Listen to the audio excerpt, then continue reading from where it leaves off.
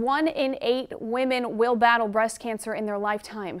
October is Breast Cancer Awareness Month, and each Wednesday this month, we will be talking with experts about prevention, early detection, and how to best battle this deadly disease. This morning, we're focusing on catching breast cancer as early as possible. Joe. Yeah, that's exactly right, Andrea. Michelle Wilson with the Baylor Scott and White Hillcrest Breast Center joins us now. Michelle, good morning. We appreciate you good joining morning. us. Absolutely. Thanks, thanks, for having me. Thanks for getting up this early to talk about a, a very serious topic. Absolutely. I know, I know it is. So uh, there's some confusion, though. People watching this morning, let's clear up some of this confusion about when women should start getting screened for breast cancer. What are the guidelines? For starting screening and how often should we get mammograms? There are different guidelines out there. What we follow, we see save lives every day. You've got American Cancer Society has a set, American College of Surgeons, College of Radiology, and the guidelines we follow still save lives every day are 35 for a baseline, and then you start annual screening at the age of 40 and you get one every year. Whenever we see women skip years, if they do have a cancer and it's growing at a high rate, it's just it gets away from us quickly. So right. we still think screening every year catches it as early as possible. Are there certain groups that need to get screened at an earlier age than 35? Absolutely. Um, if your mother had breast cancer and was diagnosed under the age of 40, then you would want to start screening 10 years prior to her diagnosis. Um, some ladies that are at higher risk just from genetic factors, from their own personal factors, they would want to visit with their doctor about being screened earlier as well. And I know you hear this, uh, a lot of women are hesitant about getting screened because of the pain of a mammogram. Talk a little bit about that. It really doesn't hurt. And most women, when I get done doing them the first time, I'm like, so how was that? And they were like, it wasn't bad at all. You know, like, what are these ladies talking about? It doesn't hurt.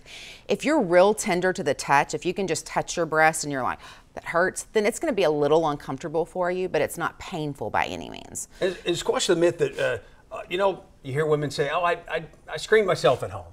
I, am I'm good, or I had maybe a sister do it or something like that. But that's not everything they need to know about it, right? Absolutely to... not. Um, you can't feel breast cancer at its earliest stage. That's like what we call calcifications, which are like little grains of salt in the breast, and that's the absolute earliest form of breast cancer. And that's when we want to catch it well before you can feel it. By the time you can feel it, it's usually progressed a little further than we would like it to be. Some people think, well, I, I got to schedule an appointment, I got to go to the hospital, and I got to do this.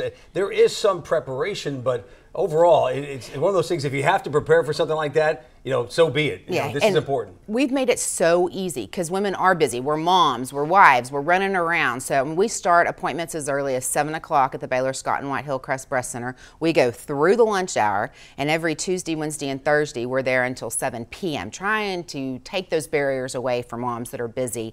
Um, you're in and out in about 20, 30 minutes for a screening, meaning you're not having any problems.